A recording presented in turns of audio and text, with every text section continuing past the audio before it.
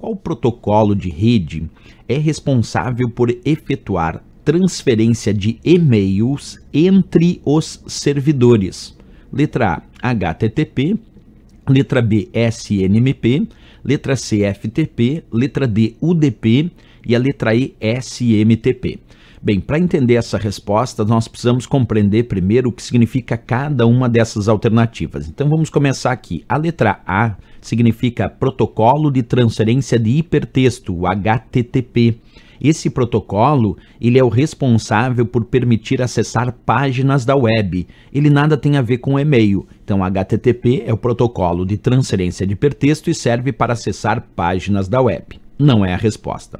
Letra B, SNMP. SNMP é o protocolo para gerenciamento de redes e é usado pelos administradores da rede para verificar se os computadores da rede estão respondendo de forma adequada e se houver alguma falha detectada, ele pode corrigir essas falhas e até impedir que essas falhas na rede voltem a acontecer. Então o SNMP também nada tem a ver com e-mail, ele é um protocolo para gerenciamento de redes.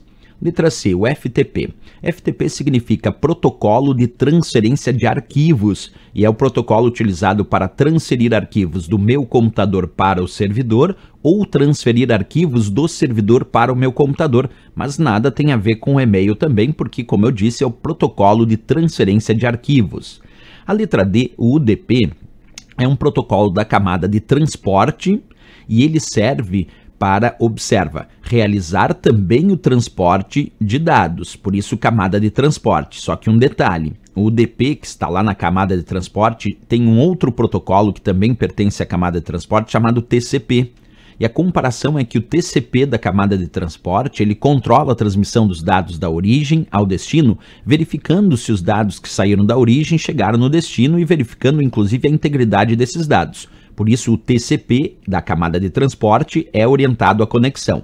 Já o UDP, que está aí na letra D, também é um protocolo da camada de transporte, mas que não é orientado à conexão, porque não verifica se os dados que saíram da origem chegaram no destino exatamente na mesma ordem.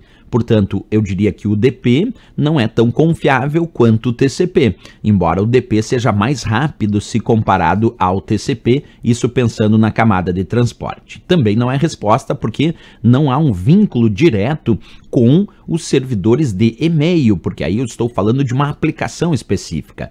Pessoal, só restou mesmo a letra E de Equador, o SMTP.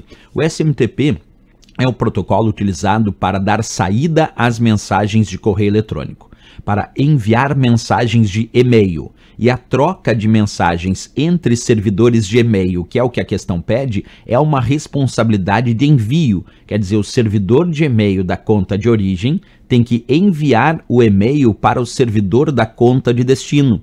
Por isso que o SMTP também é considerado não só o protocolo de envio de mensagens de correio eletrônico, protocolo de saída das mensagens de e-mail, mas também é o protocolo que permite a troca de mensagens entre servidores de e-mail, porque a troca de mensagens entre servidores de e-mail é uma responsabilidade de quem envia. Por isso a resposta de fato aqui é a letra E de Equador. SMTP, então, protocolo para dar saída às mensagens de e-mail, para enviar e-mail ou para troca de mensagens entre os servidores de e-mail. Letra E de Equador, então, de fato, aqui o gabarito e a resposta desta questão. Certo, pessoal?